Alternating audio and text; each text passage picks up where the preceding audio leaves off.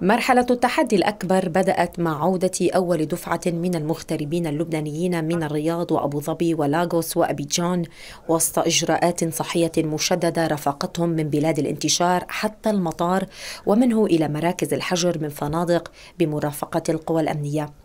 رئيس الحكومة حسان دياب أكد من المطار أن الدولة مع العودة الآمنة للمغتربين وهي معنية بكل اللبنانيين بالداخل والخارج. الحكومة هاي معنية بكل لبناني آه، كل لبناني في الداخل وفي الخارج. اللبنانيين آه، كلهم نعتبرهم من عائلتنا.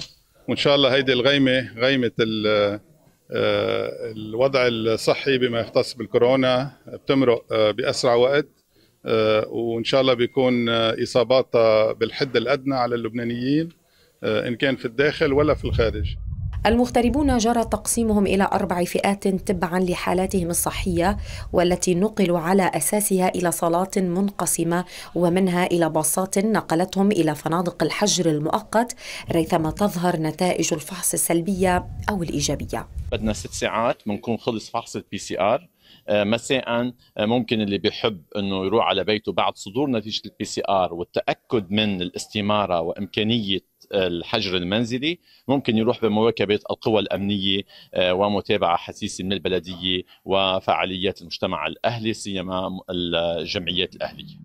في مقابل إجراءات المطار إجراءات جديدة لتنقل السيارات خلال النهار أصدرها وزير الداخلية بعد حالات التفلت الكبيرة التي حصلت في الشوارع والمدن اللبنانية وتقضي الإجراءات بتحديد أيام لسير كل مركبة وفقا لرقم لوحتها.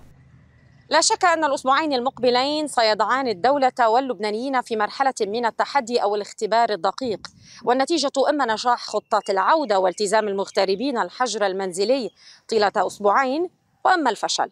وبذلك تكون هذه الخطة القشة التي قسمت ظهر البعير. ليلى خليل الغد بيروت.